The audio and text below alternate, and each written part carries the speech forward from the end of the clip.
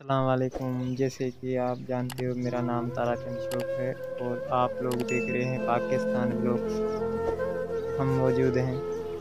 سندھ کی خوبصورت درگاہ، جس درگاہ کا نام ہے پتھورا پیر۔ آج ہم موجود ہیں پتھورا پیر میں اور آپ کو دکھائیں گے یہ درگاہ کس طرح بنائی گئی ہے اور کتنی خوبصورت یہ جگہ ہے۔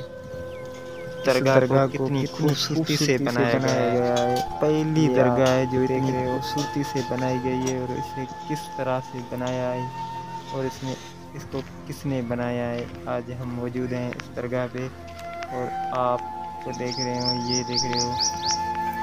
یہ گیٹ ہے آنے کے لیے اور یہ سیڑھیوں سے ہو کر اندر جانا پڑتا ہے اور اس درگاہ پہ۔ کتنی اونچائیوں سے یہ بنی ہے اس سیڑھیوں سے ہو کر پھر اندر آنا پڑتا ہے اور یہ دیکھ رہے ہیں آپ لوگ۔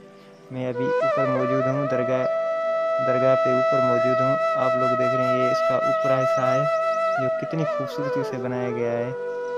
اور یہ ان کی سیڑھیاں ہیں، یہاں سے لوگ گزر کر اندر آتے ہیں اور درشن کرتے ہیں اور مزار پر جا کر اپنا ماتھا ٹیکتے ہیں۔ اور آپ لوگ دیکھ رہے ہو۔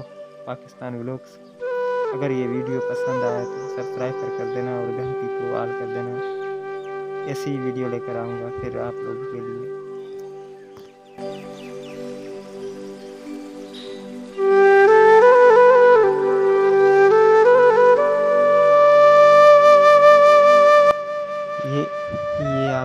آپ یہ ان کی مزار ہے اور لوگ یہاں پر اپنا ماتھا ٹیکتے ہیں۔ اور کتنی خوبصورت اور کتنی اونچائی سے یہ بنی ہوئی ہے، آپ لوگ دیکھ رہے ہیں کتنی خوبصورت یہ جگہ ہے اور یہ ان کا بلب جو ہے، خوبصورت کتنا ہے۔ اور یہ ان کی مزار ہے پتھر پیر کی، جو آپ لوگ دیکھ رہے ہیں یہ ان کے آنے کا اور یہ دیکھو میں کتنے اوپر کھڑا ہوں۔